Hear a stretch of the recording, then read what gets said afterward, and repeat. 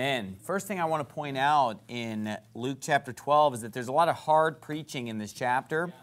But Jesus is really coming off some even harder preaching in chapter 11. And I want to just point that out. At the very end of chapter 11, he says in verse 49, Therefore also said the wisdom of God, I will send them prophets and apostles, and some of them they shall slay and persecute, that the blood of all the prophets which was shed from the foundation of the world may be required of this generation, from the blood of Abel unto the blood of Zacharias, which perished between the altar and the temple. Verily I say unto you, it shall be required of this generation. Woe unto you, lawyers, for you've taken away the key of knowledge. You entered not in yourselves, and them that were entering in, you hindered. So Jesus preaching pretty hard. He's taking the Pharisees to task, he's taking the lawyers to task. And then in verse 53, it says that as he said these things unto them, the scribes and the Pharisees began to urge him vehemently.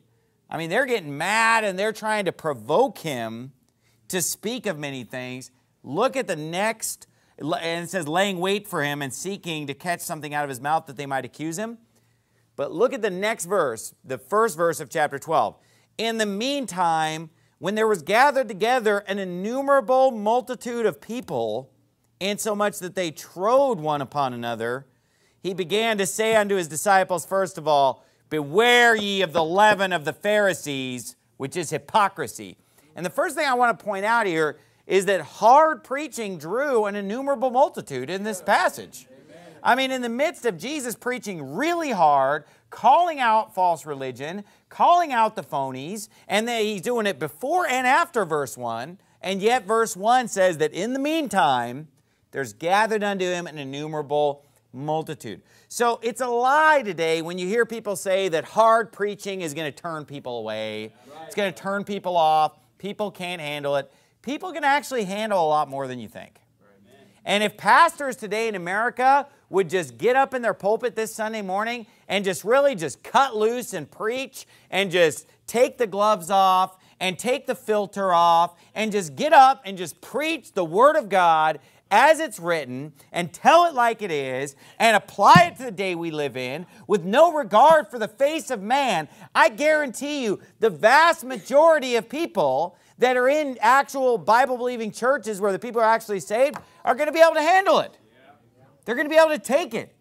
You know, it's the leadership that's failing in this country. The people in the pew can handle so much more. It's just that the pastors are not dishing it out. You can have a big church and still preach hard. You don't have to be tight. I don't like this attitude that says, well, if you preach hard, you'll never be big. Well, that's not really true because we've seen in the past churches that preached hard growing and, and becoming large. Our church is growing, and as independent fundamental Baptist churches go, our church is very large. And our church is growing quickly, and our church is one of the largest independent Baptist churches, even in Arizona now. Why? Because hard preaching doesn't scare people away, except the, the kind of people that you want to scare away. Keeps all the weirdos out.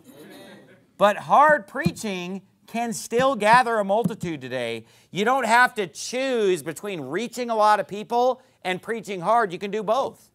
Our church has hard preaching and we reach a lot of people. We don't have to choose. So we don't need this defeated attitude that says, well, if you preach hard, you can't grow. And we don't need the scared uh, attitude in the pulpit that says, well, you know, if I preach hard, I'm going to run everybody off. It just isn't true and Christ proved it right here. But he says there in his preaching to this great multitude at the end of verse 1, he said, Beware ye of the leaven of the Pharisees, which is hypocrisy. For there's nothing covered that shall not be revealed, neither hid that shall not be known. Now, Jesus at various times in his ministry spoke about the leaven of the Pharisees. Here he says that the leaven of the Pharisees is hypocrisy. Elsewhere, the Bible said that when he talked about the leaven of the Pharisees, he was referring to their doctrine. Now, why was the false doctrine of the Pharisees called their leaven? I believe it's in Matthew chapter 15, somewhere uh, around that neighborhood in the book of Matthew.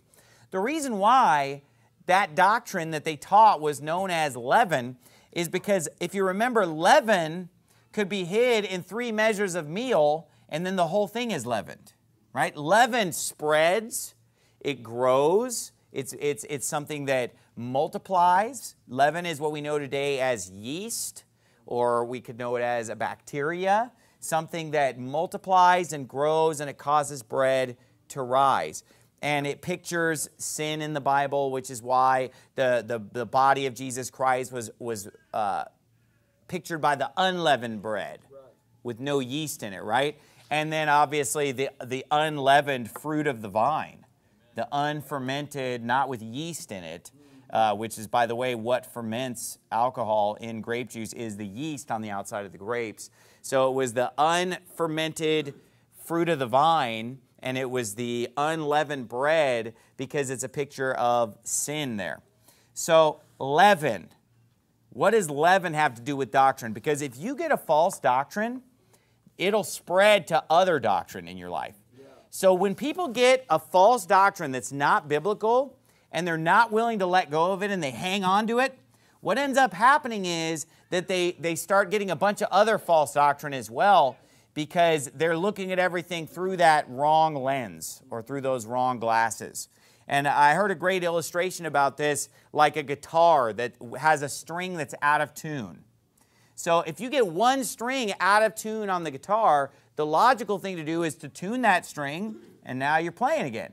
But what some people want to do today, they have a false doctrine that they just will not let go of. So what they end up doing is trying to tune the other five strings to match that string. Now all six strings are tuned wrong. And if you just listen to that person play, it sounds good. Why? Because all six of their strings are in tune with each other, right? They've got a false doctrine, they got that bad string, and they tuned the other five to match up with it. It's like, yeah, this makes sense. Yeah, this sounds great, right? Yeah, until they start actually playing with the rest of the band, until the piano player starts playing, until the bass guitar starts playing, until the trumpet starts playing, until the song leader starts singing, and then it sounds horrible. But when they're all isolated by themselves, they're making sense until somebody actually pulls out a Bible, which is like the tuning fork, pulls out the Bible, which is the little electronic tuner, and says, Whoa, buddy, you're way flat. You need to, you know, you need to get tuned up to this thing. But it all starts with just having one thing wrong. And we've seen that over the last week at the prophecy conference, all the different sermons about end times and everything. There, there's one thing you can't deny, and that is that the false doctrine of a pre tribulation rapture goes hand in hand with the doctrine that the Jews are God's chosen people. This doctrine that's stuck in the Old Testament program of Israel and the physical nation, those two things are hand in glove. If, if you can get people to see that they're wrong about the Jews, then they'll have no problem seeing that the rapture is after the tribulation and vice versa. But they've just tuned all their strings.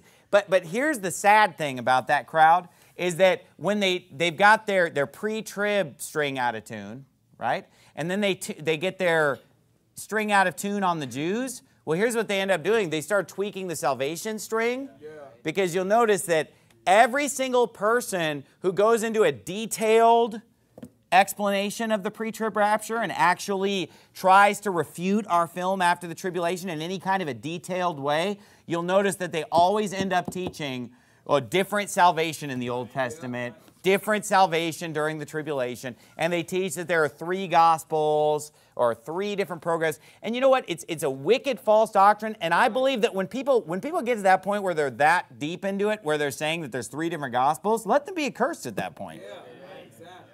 You know, it, but but the, the the most people who believe in the pre-trib rapture, they don't believe in the three gospels thing. They just haven't even studied the issue.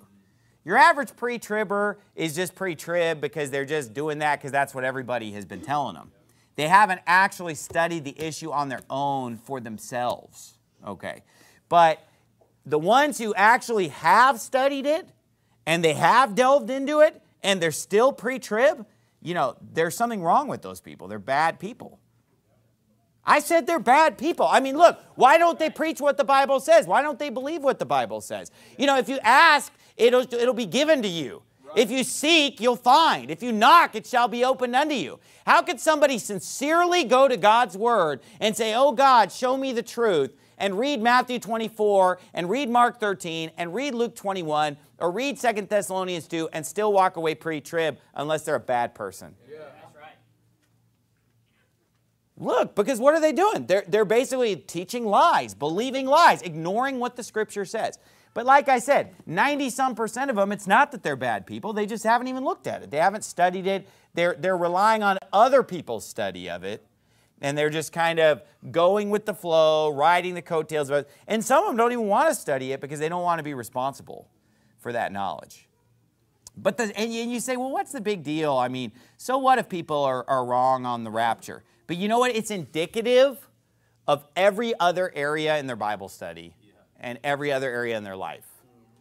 Because if they're refusing to acknowledge the truth on this, which is as plain as the nose on your face, what else are they going to ignore? And what kind of a person are they if they're scared to preach what the Bible says for fear of offending their preacher buddies in their Bible college alma mater? And if they're just, and, and you say, no, no, no, Pastor Anderson, they, they really studied it hard and they're sincere, but they just can't figure it out then they're not even fit to be a pastor because they don't have enough intelligence to pastor.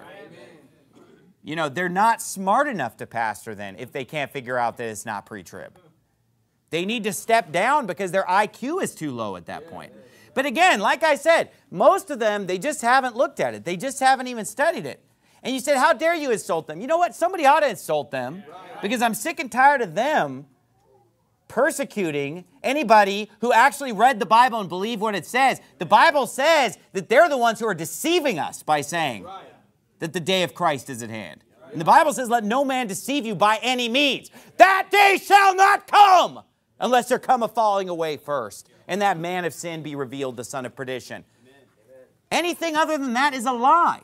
And I can't even find one of these pre tribbers who will even try to defend their doctrine without teaching this false salvation, where they say, oh, it used to be salvation by works in the Old Testament. And in the tribulation, it's going to be salvation by works again. You know, when they're teaching different salvations and different gospels, that just shows they're a complete false prophet. Right right? So which side, you know, my message to the pastor of America would be, well, which side are you going to be on? You're going to be inside with the, the hyper dispensationalists with their three gospels that are cursed of the Lord? Or are you going to actually figure out that the, your big name heroes from the last generation were wrong on the timing of the rapture? Get over it, move on with your life, and believe what the Bible says. Amen. And nobody can provide any kind of a meaningful refutation of a post trib, pre wrath rapture without appealing to the Ruckmanites, the hyper dispensationalists, and the wrong salvation. It's that simple. And so, you know, people need to wake up. And the time is, is, is possibly going to come in our lifetime. It's pretty important that people know. Now, that's actually what this chapter is about. Jump down to verse 35. It's interesting because uh, we, we just sang the song, Will Jesus Find Us Watching? And it's funny because as I was studying this chapter, that's the song that kept coming into my head because that song is based on this chapter. And then I thought it was pretty cool when I got here and I was, oh, that's what we're singing tonight. Perfect. But it says in verse 35, Let your loins be girded about and your lights burning, and ye yourselves like unto men that wait for their Lord, when he will return from the wedding, that when he cometh and knocketh, they may open unto him immediately. Blessed, and this is where the song comes from Blessed are those servants whom the Lord, when he cometh, shall find watching. Verily I say unto you, that he shall gird himself and make them to sit down to meat, and will come forth and serve them. Now, what does it mean to be found watching? Well, all throughout the Bible, you'll find the word watch, as in the first watch, second watch, third watch, fourth watch of the night. The word watch means to be awake, right? Those who watch all night until the morning are those who are staying up at night, right? And they're watching. Jesus Christ said to the disciples that fell asleep in the Garden of Gethsemane, Could you not watch with me for one hour? So the servants that are watching are the servants who are awake and paying attention to what's going on, right? As opposed to the ones who are asleep. That is the opposite of watching, it's to be asleep, right? So the Bible says, Blessed are those servants whom the Lord, when he cometh, shall find watching. Look at verse 38 and I'll prove it to you. And if he shall come in the second watch, or come in the third watch, and find them so, blessed are those servants. So the night is broken up into these different watches of the night when they would maybe, the guards would trade off, you know, the first watch, second watch, third watch of the night. Blessed are the servants that he finds watching, that are awake, that are paying attention, that know what to look for. It says in verse 39, and this know that if the good man of the house had known what hour the thief would come, he would have watched and not have suffered his house to be broken through. Be ye therefore ready also, for the Son of Man cometh at an hour when you think not. Now, the pre trib rapture doctrine is based on such a shallow understanding of Scripture, they don't even seek to understand what the Bible's actually teaching here, but instead they just grab hold of one sentence here. You know, be ready. You don't know when he's coming. That, that, it just becomes a, a slogan or a catchphrase. They don't realize that that's the tail end of his teaching. And they need to get the whole teaching not just the catchphrase, not just, uh, be, be ready, brother. You don't know when he's coming. Could be tonight. Wrong. It could not be tonight. Right. The one who doesn't know when he's coming is the one who he's going to overtake as a thief. Yeah. Do you see that? I mean, look what he says here. It's, it's amazing how uh, people could not see this. It says, if, he, if the goodman of the house had known what hour the thief would come, he would have watched and not have suffered his house to be broken through. Be ye therefore ready also. He's saying, be like that guy who's watching so that he knows when the thief is coming. Right? He's not saying, hey, we're all going to be surprised. We're all going to be shocked. He might have come tonight. Wouldn't that be a surprise? It's not what it says. It says, be the guy who's awake and paying attention and ready so that you'll see him coming. Before he comes, you will be aware of it. You will be aware of when he's coming. I mean, isn't that what it says? It's pretty clear, right? Verse 40 Be ye therefore ready also, for the Son of Man cometh at an hour when you think not. So we can't predict when he's coming, can we? Can any of us predict and say it's going to be on this date or on that date or this year or that year? We can't predict it. He's coming at an hour that we think not. It's, it's a date that nobody's predicting. It's not September 23rd, 2018, or any other goofball date that people come up with. You say, well, when is it then? Here's what we have to stay awake all the time watching so that we can watch for the signs of his coming before they happen. Now, go to 1 Thessalonians chapter 5. 1 Thessalonians chapter 5. So Luke chapter 12 goes into more detail on this. We're going to go back to Luke chapter 12 and see more detail about this idea of Christ's return and him coming upon people unawares, people not being ready. Now, 1 Thessalonians chapter 4 is the quintessential rapture passage. It's the most famous, most detailed. Everyone agrees that it's the rapture. All the pre-tribbers agree that it's the rapture. And they love to quote it and they, they think in their warped understanding that somehow this provides a, a, a proof of a pre-tribulation rapture, even though in 1 Thessalonians chapter 4, there's no timing given. There's no timing of the rapture given in 1 Thessalonians 4. He describes the rapture, he tells us that it's going to happen, but he doesn't give the timing until chapter 5, verse 1, which they won't even touch with a 10 foot pole. They love to just comfort one another all day long. They're just so busy comforting one another in chapter 4, verse 18, they never even make it to chapter 5.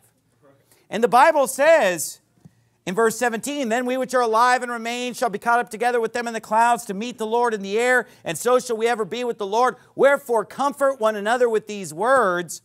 But, but, but, see, there's this big but that they are not facing today. They won't even look at it. It's a conjunction. I mean, don't make me take you to conjunction junction to figure out what a conjunction is. I mean, it's not done. The book isn't over, right? And the most important stuff is coming in chapter 5 because he's going to explain to us the timing of the rapture.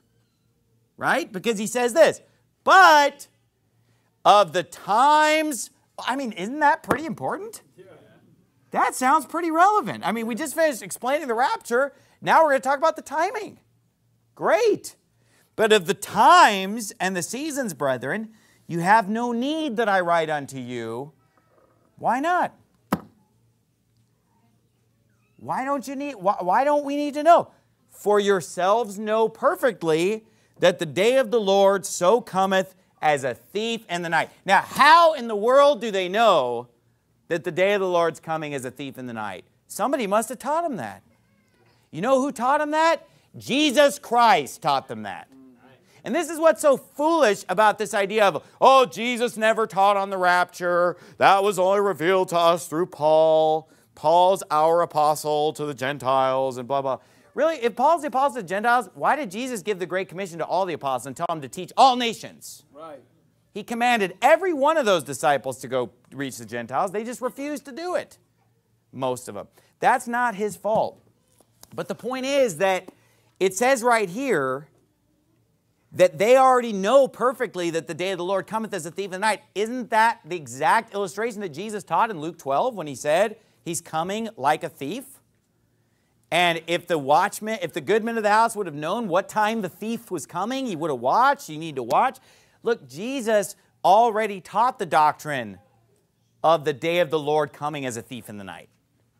So he says, Well, I don't need to tell you about the timing because Christ already taught you the timing right? You already have heard what Jesus taught in Matthew 24. You've heard what Jesus taught in Luke 12. You're familiar with what Jesus taught in Luke 21. You're familiar with what Jesus taught in Mark 13. You're and, and I'm not saying they had those written books, but they'd heard that teaching. They'd heard that preaching of Christ's words from the apostles.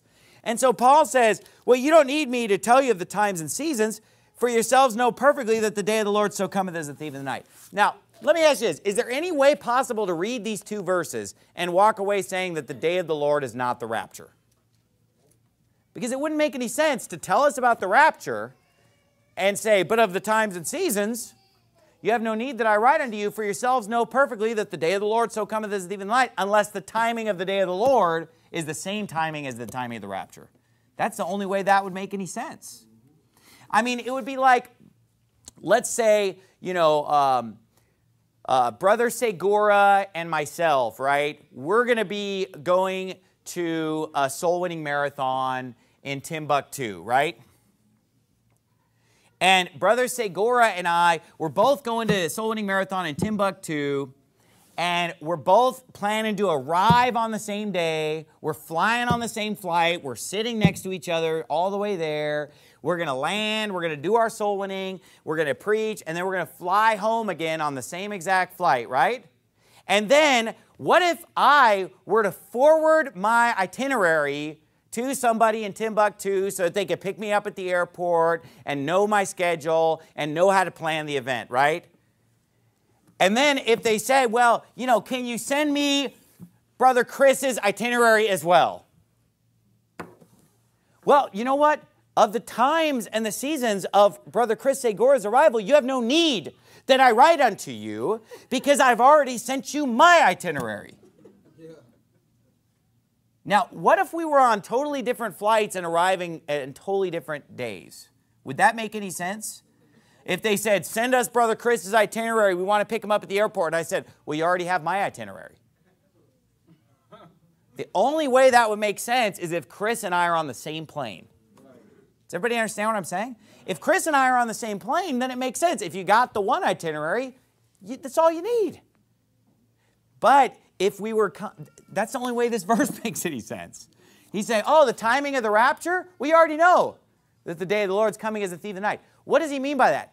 Of the times and the seasons, brethren, you have no need that I write unto you. You already know what to look for. You already know what's going on with the timing of the rapture. You don't need me to tell you because you already know the day of the Lord's going to come as a thief in the night. Okay, everybody got that? Okay, well, what does the Bible say about the day of the Lord like 10 times? The sun shall be turned into darkness and the moon into blood before the great and terrible day of the Lord come. Yep.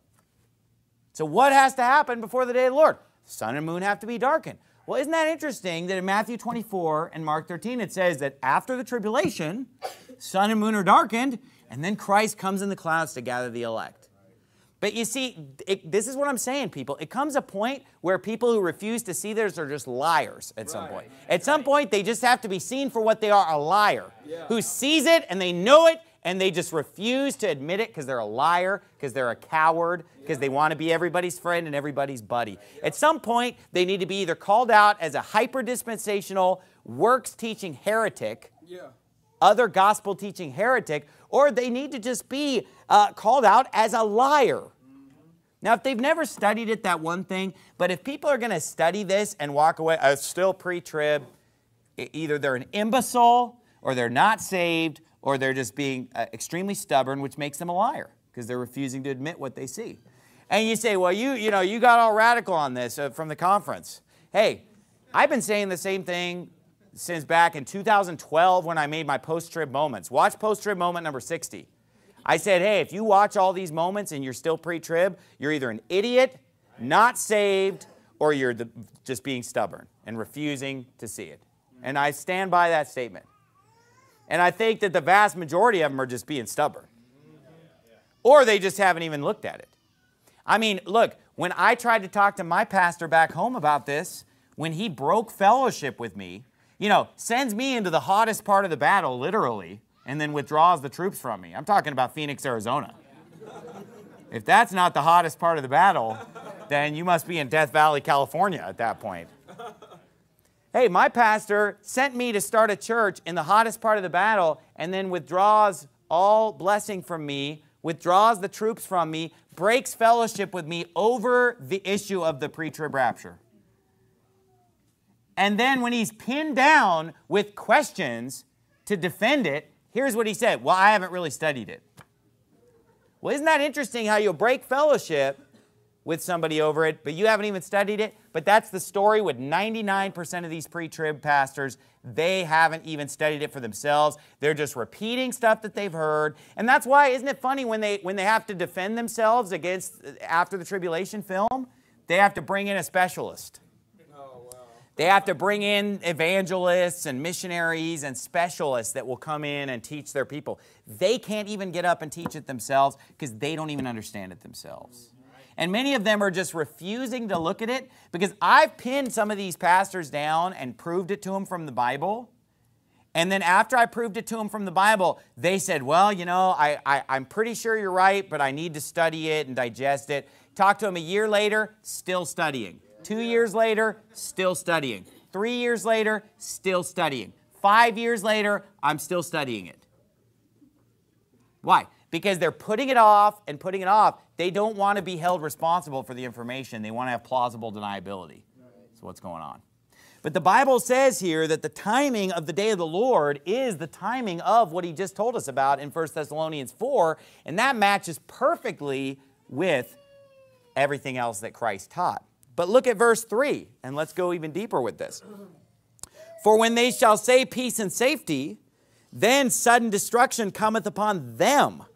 The they and the them is talking about the unsaved, right? They say peace and safety, destruction comes upon them, and they shall not escape. But ye, brethren, are not in darkness, that that day should overtake you as a thief. Ye are all the children of light and the children of the day. We are not of the night nor of darkness. Therefore, let us not sleep as do others, but let us watch and be sober. Again, remember I was telling you that watch means to be awake? Well, that's why he says, don't sleep, but watch and be sober. So, what's he saying here? He's basically saying that a lot of Christians are as asleep as the unsaved. Mm-hmm. So, the unsaved are the children of darkness. That day is going to come on them as a thief in the night. But here's what he's telling Christians don't be that guy, don't be like them. The unsaved, it will come upon them as a thief. But you, brethren, are not in darkness that that day should overtake you as a thief. He says, don't sleep as do others. Who are the others? The unsaved people. Don't sleep like them. Be awake. But sadly, most of even saved Christians today are asleep. They're not heeding this admonition to be awake and to watch. And look, if you're pre trib, you're automatically asleep. Automatically, because you don't even know what to watch for. You don't even know what you're looking for. You're not even expecting the thief to even come. You just think that you're going to be just beamed up with no warning, with no suffering, with no time leading up to it where you're going to have to make some hard decisions about what to do with your life during that time and, and, and how you're going to handle that. So the Bible says, Let us not sleep as do others, but let us watch and be sober. For they that sleep, sleep in the night. And they that be drunken are drunken in the night. But let us, who are of the day, be sober, putting on the breastplate of faith and love, and for an helmet the hope of salvation. We have hope of salvation. Why? Because God has not appointed us to wrath, but to obtain salvation through our Lord Jesus Christ. And when we see these things begin to come to pass, we will look up and lift up our heads, for our redemption draweth nigh. Super clear, isn't it? Super clear. And you know what? This is super clear, and we didn't even look at Second Thessalonians chapter 2, which is even more clear. And we didn't even look at Matthew 24 or Mark 13 or Luke 21 that are all super clear. So to be pre trib, you just have to ignore super clear, super clear, super clear scripture one after the other and just refuse to admit what the Bible's saying. Go, if you would, to Luke chapter 12, where we were before. Let's get back to this parable. So the parable makes perfect sense. Christ is teaching that which Paul taught in 1 Thessalonians 5, right? Watch, be awake, don't let it come upon you as a thief, right? Be awake, be sober, be watching.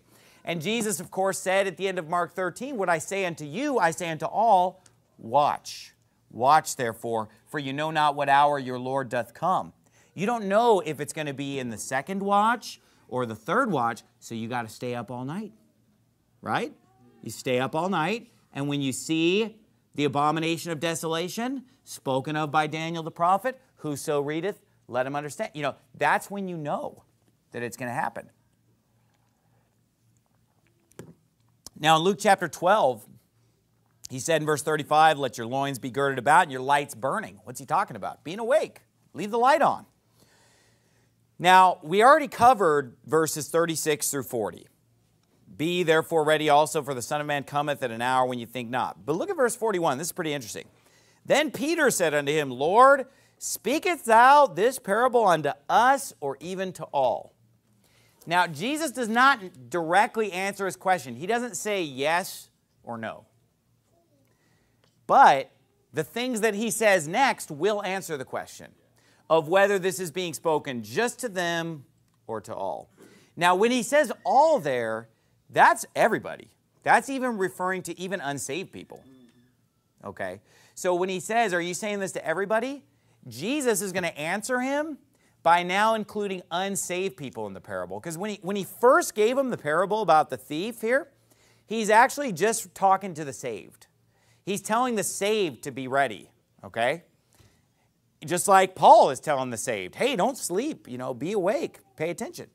So he's dealing with the saved, but now he's going to deal with both saved and unsaved in the next part of the parable. Why? In answer to the question that Peter gives. So you got to stop and pay attention to the question that Peter gives in order to understand the next few verses because Peter asks the question, hey, is this just for us or is this talking to everybody which would even include the unsaved. All right, look down at verse 41 or verse 42. And the Lord said, Who then is that faithful and wise steward whom his Lord shall make ruler over his household to give them their portion of meat in due season? Blessed is that servant whom his Lord, when he cometh, shall find so doing. Of a truth I say unto you, that he will make him ruler over all that he hath. Verse 45 But and if that servant, say in his heart. Now, some people will try to apply this to saved people, but no, this is talking about unsaved people, and I'll explain to you why in a moment. And it's in response to the question that Peter asked. But and if that servant say in his heart, My Lord delayeth his coming, and shall begin to beat the men servants and maidens, and to eat and drink and to be drunken, the Lord of that servant will come in a day when he looketh not for him, and at an hour when he is not aware of, and he will cut him in sunder, meaning cut him in half, and will appoint him his portion with the unbelievers. And that servant which knew his Lord's will and prepared not himself, neither did according to his will, shall be beaten with many stripes. But he that knew not and did commit things worthy of stripes shall be beaten with few stripes. For unto whomsoever much is given, of him shall much be required. And to whom men have committed much, of him they will ask the more. Now, in order to understand this parable, you have to get the context of the rest of Christ's teachings because Christ gave this parable over and over again about a lord of a household who goes on a far journey and then comes back. And he finds the servants have taken over and rebelled and mutinied. Okay? For example, you remember the famous parable where Jesus talks about how the Lord of the vineyard, he goes off into a far country, and while he's gone, he sends his servants to the vineyard to, to receive the fruits thereof. And what did the servants of the vineyard do? They beat them up and sent them away. He, he sent more servants. They beat them up, made fun of them, and sent them away. A third time, right? Then, last of all, he sent his son. And he said, They'll reverence my son. But when they saw him a great way off, they said, This is the heir. Let's kill him. And let's see, we'll seize on the inheritance ourselves. And they killed him. What's the Lord of those servants going to do when he comes? He's going to miserably destroy those murderers, and he's going to give the vineyard to others who will bring him the fruits in their due season. And then he explains what it means. He tells the Jews, The kingdom of God shall be taken from you and given to a nation bringing forth the fruits thereof. So some people will mistake this parable and they'll say, Oh, well, if they're servants of the Lord, they must be saved. But they're not servants of the Lord, Lord. They're servants of the Lord in the story. Okay, the Lord of the manor has servants in his vineyard that are supposed to be bringing in the fruit thereof. They're supposed to be doing the work. And what did they do in this story? The servant said, Oh, my Lord delays his coming. He's not coming back. And what do they do? They begin to beat the men servants and the maid servants, and they begin to eat and drink with the drunk. Look, this is what the Jews did. The Jews are the servants who knew the Lord's will and did it not. And they'll be punished worse than the Gentiles who did not know the Lord's will and did it not. Okay, because the Jews, we're supposed to be the servants of the Lord, and instead of bringing in the fruits of the vineyard, serving God, what did they do? They rebelled against God and they beat the maid servants and the men servants. Who are those people? Well, in other parables, Jesus equates those servants that they beat up to, to the prophets. So the prophets that he sent unto them from other countries, or the prophets even from their own country that preached to them, were killed. They, we, you know, Jesus said, Which of the prophets have you not killed? Which of the prophets did you not persecute? Right? So these servants that are beating their fellow servants and eating, drinking, and saying he's never coming, these represent the Jews okay, that, that rejected the Lord. And this could also just represent unsaved people in general who believe that, you know, Christ is never coming. They say, where is the promise of his coming? For all things continue as they were uh, from the beginning of the creation.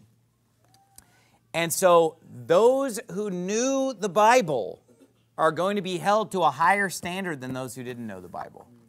They're going to be punished worse. And, and see, that's why the Jews were punished so severely in Christ's day.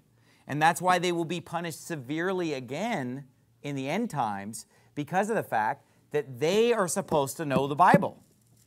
I mean, who do you think's more accountable to know about the Bible and the true God? A Hindu or a Jew? You know, I mean, think about that.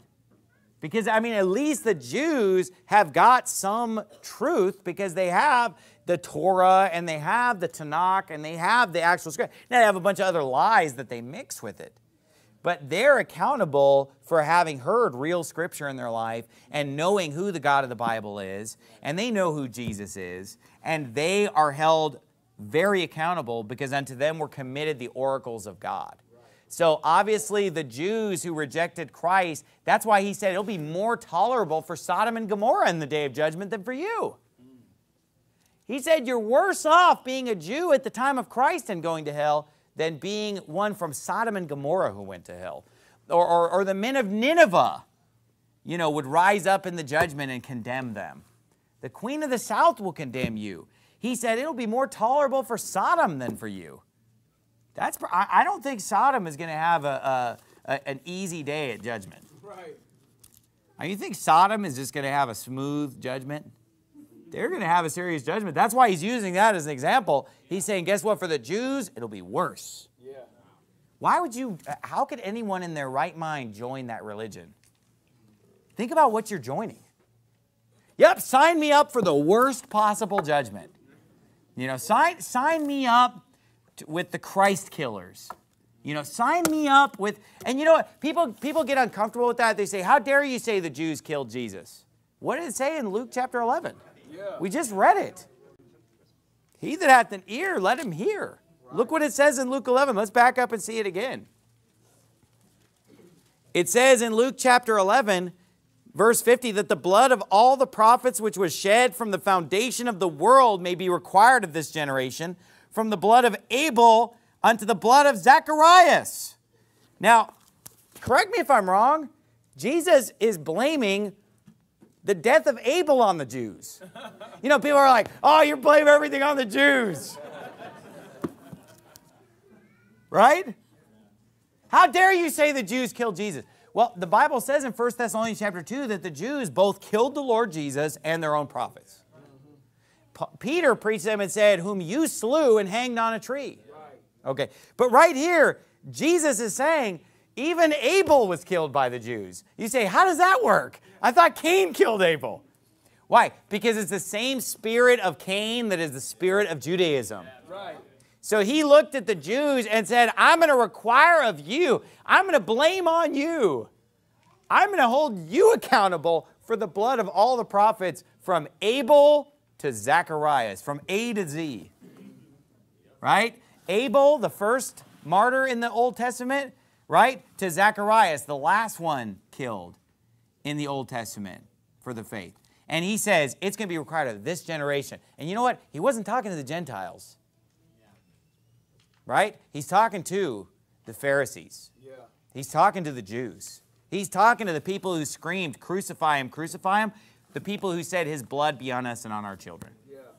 So why don't you just back off on saying, How dare you say that about the Well, how dare Christ say it about Abel? Right. Now, look, if you would, at Luke chapter 12. I got to hurry up to get through this. But it says that the Lord of that servant will come in a, in a day when he looketh not for him. Why? Because he's not looking, he's not watching, he's not paying attention. He doesn't even know what to look for, he doesn't even know what the signs are. Go to Luke 21. This is pretty interesting. Look at Luke 21. This is the very end of Luke 21. And you'll find something pretty similar here. He says in verse 34, he says, And take heed to yourselves, lest at any time your hearts be overcharged with surfeiting and drunkenness. Now, let me just start out by saying this. In this chapter, Luke 21, one of the things that really stands out is the difference between ye, you, your, and they, them, theirs. So when he's talking about the unsaved, he says they, them, their, you know, and, we, and, and you know what's funny? Whenever he talks about Israel or the Jews in Luke 21, he says they, them, their. So it's bizarre that people say that this chapter is toward the Jews because every time he talks about the Jews, he says they, them. And then when he talks to the Christians, is ye, you, your, right? Your redemption draweth nigh, but there's going to be all this wrath on this people, the Jews. Okay, that's what he said. Read Luke 21 when you get a chance. But he, when he says you, I mean, here, this is one where he's talking to his disciples and he's saying to them, you. Okay, because he distinguishes in this passage, they, them are the unsaved. He says, Take heed to yourselves, lest at any time your hearts be overcharged with surfeiting and drunkenness. Now, remember, that's what the unsaved are doing. They eat, drink, and are merry because tomorrow they die. And he brought that up in Luke chapter 12 as something that the unsaved do. They're, they're eating, drinking, beating the servants. But it says here, Take heed to yourselves, lest at any time your hearts be overcharged with surfeiting. You say, What surfeiting? Surfeiting and drunkenness, let's just say partying and drunkenness, right? That's probably a word that we would understand in our vernacular that probably gets the same point across. You know, just partying, drunkenness, cares of this life. And so that day come upon you unawares. Watch verse 35. For as a snare shall it come on all them that dwell on the face of the whole earth. So, to all them out there, the unsaved, those that dwell on the face of the earth, it's going to come upon them unawares. It's going to be a snare to them. It's like a thief in the night to them. But he's saying, don't you be like that. You don't want that day to come upon you unawares. So he says, verse 36, watch ye therefore, right? Watch ye therefore. Watch this.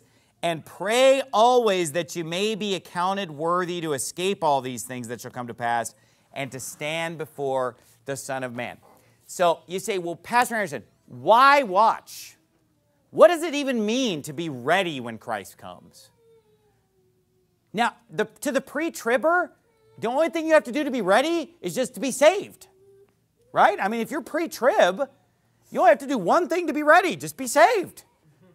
Because if he just shows up, you're beamed out, it's fine.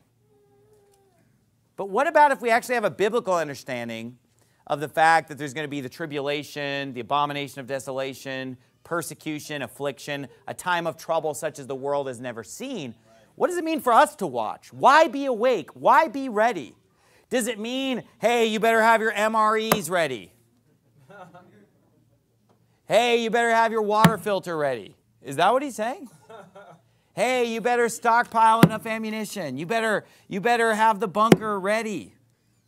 That's not what he's teaching. He tells us why we need to be ready. He tells us what it means to be ready for the Lord at his coming. He says, Don't let your heart be what? Overcharged with surfeiting and drunkenness and the cares of this life. Why not? Because you don't want this day to come upon you unawares. Why not? What does it matter if it comes upon you unawares? Listen to what he says.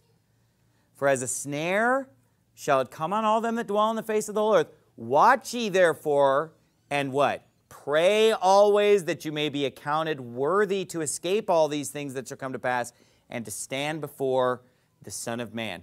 What does it mean to watch, to be prepared, to be ready?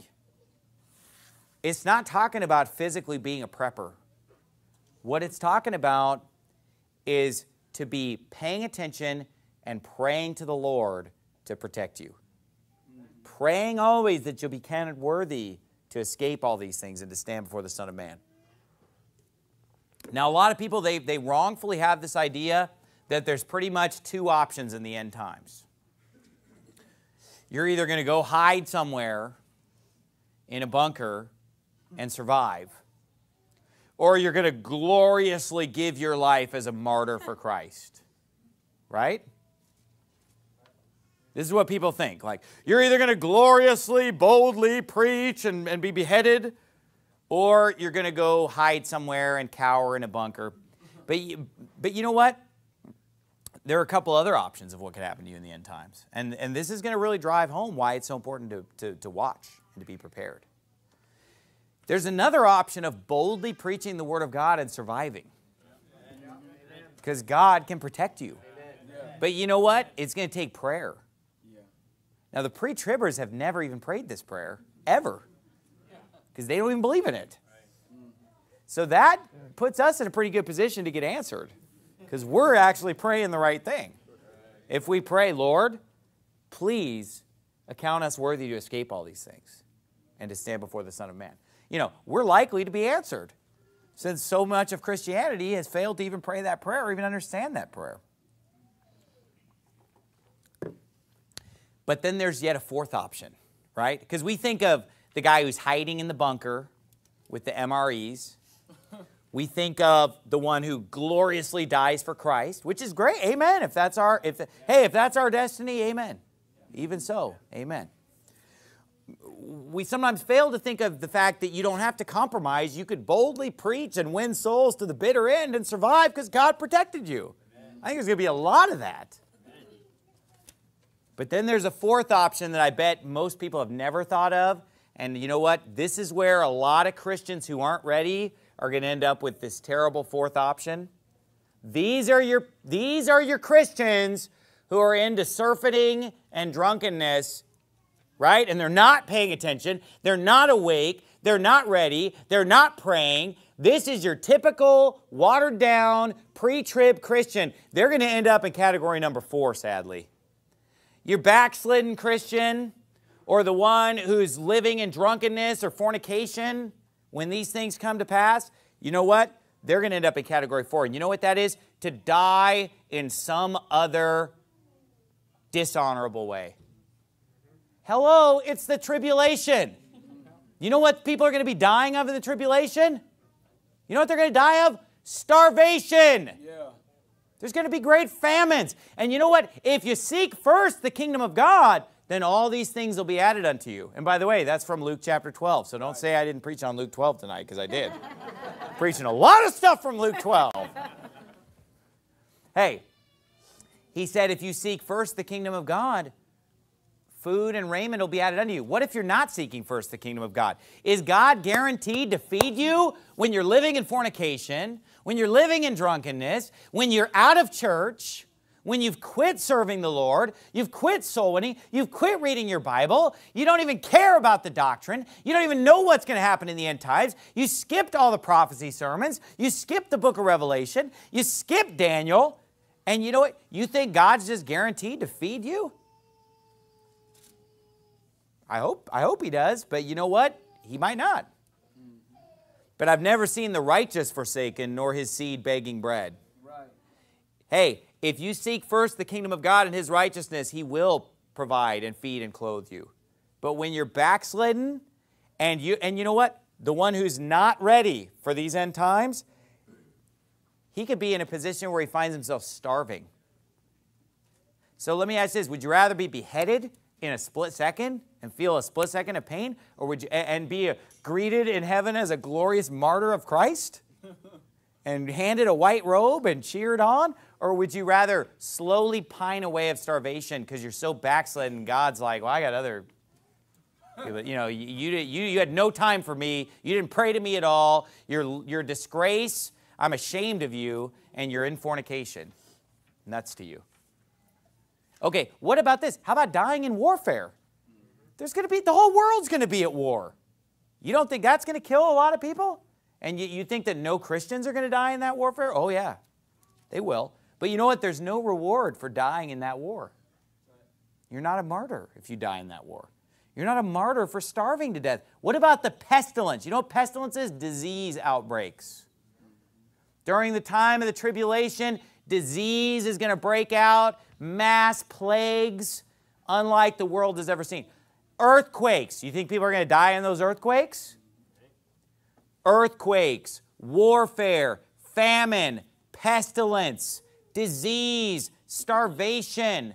Hello? And you say, well, what does it matter? What does it matter if we know what's coming? Why do we even need the prophecy conference? What, why do we even care? Why does it even matter? It's not even relevant. Okay, I'll tell you why. Because when you see those things come to pass, you better be dropping on your knees and purifying yourself right. and saying, you know what, man, I got 75 days left. It's time for my live-in girlfriend to move out. right. You know, or even before that, even years before that, when you start seeing the one world government coming together, when they start saying, hey, we're going to rebuild the temple in Jerusalem, yeah. when you start seeing the signs of the false prophet or the Antichrist, look, the more awake you are, the more you're going to see. And you know, that's an extreme example of somebody who's living in fornication. But you know what? Everybody has little sins in their life and little things. I guarantee you, you're going to tighten that up yeah. in those last few months. Right. Right? Yeah. You're going to tighten that thing up. You are going to be on time and you're going to be at soul winning and you're going to be doing, you know, whatever those things are in your life, you know, you're going to be like, okay, now it's time to quit smoking. Yeah. Right? Think about it. Uh-huh. Now, the pre tribbers have such a warped view. They say, well, yeah, but our view is even better because you feel that way all the time. Except, guess what? If you feel that way all the time, then you never feel that way. Yeah. Nobody's on edge all the time. Are they? You think you're just 365 days? He's coming back today. I better get my I better get my act together. He's coming back today. No, no, no. No, they're not. To be always, to be always awake and ready and light burning is to be never. Why?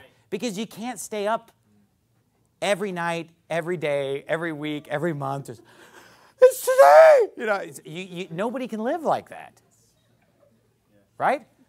The point is, we don't know when it's going to happen. So here's what we do we serve God, we work hard, we do our best, but we're always paying attention mm-hmm. and we know what to look for and we're ready so that when we see these things come to pass, hey, we realize, you know what? He's coming. It's time to light up that lamp. It's time to get ready to roll. It's time to stay up all night. It's time to make sure that we're ready to face what's coming. You know what? It, you said, well, what are you guys going to do? Go build a bunker somewhere? I'll ne- I'm never building a bunker somewhere. You know what I'm? Why would I? If I got 75 days left to serve the Lord, if I got three and a half years left to serve the Lord, I want to use every day. Amen. Why? It's the last chance. Yeah. It's the last chance. Why would you go hide when it's the last chance? Okay, what, if, what about this? What if I could go hide out in the woods and survive? Or what if I could just even win one person to the Lord? And you say, yeah, but what if you're killed? Okay, so how painful is it going to be for me to be guillotined? if that's if if the worst happens, right? Uh, you might not even feel it. Yeah. Right. You might not even. You probably it'll probably just be such a shock to your brain. The lights will probably just go out. But you know what? Let's say it hurts really bad for 10 seconds. Worst case scenario, okay? Worst case scenario, like that old story in the 1001 Arabian Nights where the guy gets his head chopped off and he can talk for 10 more seconds before he's gone. Nobody else has read that except me. Okay, that's all right. Worst case, it, oh, it hurts bad for 10 seconds. You know what? I will go through 10 seconds of excruciating pain if I can save somebody an eternity of hellfire. Right. What kind of a person would say, no, don't put me through 10 seconds of pain, maybe. Let that person go burn in hell for eternity. That makes no sense. And you know what? I'm not going to win one person the Lord during that time. You're not going to win one person the Lord during that time. We're going to win five people the Lord. We're going to win 10 people the Lord. We're going to win 15 people the Lord during that. We're going to win 25 people the Lord during that time. We're going to be out there working hard and doing great exploits for the Lord. Yeah. We're not going to be hiding. Amen. But the pre-tribbers have this straw man, oh, you're just into guns and prepping and, and storable food or whatever. Not me, brother. I'm going to be out there screaming my head off, preaching the Word of God until the bitter end. Until the bitter end. And I'm gonna, I'm gonna do my best at the end. It's like you run a long race. See, the Christian life is like a marathon, it's not a sprint, right? See, the pre tribbers are telling us just sprint the whole time because you never know when the finish line's coming. right? Like, oh, this might be the finish line. This might be the finish line. I'm gonna be there. I'm there. Pretty soon, you know what you're gonna do? Like, I don't think this finish line's coming. so then they're just chill all the time but then they claim like, yeah, yeah, we're ready all the time. Yeah, yeah. yeah I can tell by your life. Yeah. I can tell by all the pre-trib churches in our town that are just ripping it up on soul winning. I mean, they're just going nuts because they know they only have a little time left. But see, the true story is that the Christian life is like a marathon, right? Where you're cruising along at a steady pace that you know you can maintain. Mm-hmm. Right? You don't want to just burn the whole tank at the beginning. So you're cruising along at a steady pace you can maintain. But as you get toward the end of the race, you realize, you know what? There's only a little time left. I know I'm going to finish. I didn't start too fast. I didn't burn it all off too early. I know I have a little time left. And so now I got nothing to lose. There's the finish line. And you sprint to the finish. Yeah. You sprint to the finish. But, but, but they're running it with their eyes closed. They don't even know when the finish is. but what's Jesus saying? Open your eyes, be ready, so that when you see the finish line, right, you can sprint to the finish. Amen. When you see the finish line, you'll know. And, and by the way, you're, you're actually going to be able to pray the whole time that you make it because you even know what race you're even running. It's not like we don't know is this a 5K, is this a 10K, is this a half marathon? We don't know what we're running if we're pre trib. But with, with the Bible doctrine here, he's saying, look, you watch And when you see it getting close, you ramp it up. You ramp it up. So that's what it means to be ready. It means to be prayed up and to be living a godly life. Why? So that God will protect you so that you can have a glorious finish. So that you can either survive to the end and be one of those that are alive and remain, which would be awesome, right? I don't want to die. I'd rather just live through the whole thing and just make it the end, right? Or you could die a glorious death for Christ. Or you can just be a backslidden Christian who a rocket lands on their head. right? I'm serious. Or you could just be some backslidden, lame Christian. Oh, I don't know what's going on. I thought it was going to be pre trib. You know, and the next thing you know, you're picking up some disease. And you rot away of some disease. Uh, they're more than just the two options right. that, that people are thinking about, folks. Let's bow our heads and have a word of prayer. Thank you, Lord, for this great chapter, Lord, in Luke chapter 12. Help us, Lord, to be ready. And, and not just ready in the sense that we're saved. I, I think the vast majority of people here tonight already have that taken care of. We already know that we're saved and going up in the rapture, Lord, but help us to be ready so that you're not ashamed before us at your coming, Lord. You said you'd be ashamed of, of many of, of your people at your coming. Lord, help us not to be those people that you're ashamed of where they, they end up dying a stupid death, Lord. Either, either let us survive or, or die a glorious death, Lord. But help us to serve you and earn rewards and please you, and that you will uh, uh, gird yourself and serve us, Lord, and, and, and welcome us home, as opposed to us uh, being a, a shameful black sheep of the family. And in Jesus' name we pray, amen.